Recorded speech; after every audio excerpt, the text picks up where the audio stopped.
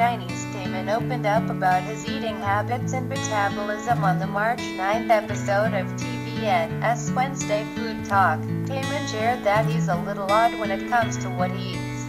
He revealed, I have a very unique sense of taste. If I like one thing, I'll latch onto it. These days, I've been into hot pot. I only had hot pot for a week straight. One time, I became addicted to flatfish sushi. I know people in Gangwon province, so I got some from them. He added, I look for places to eat in each province. I eat a lot, but I don't gain weight. Lucky Taemin. What do you think of his eating habits?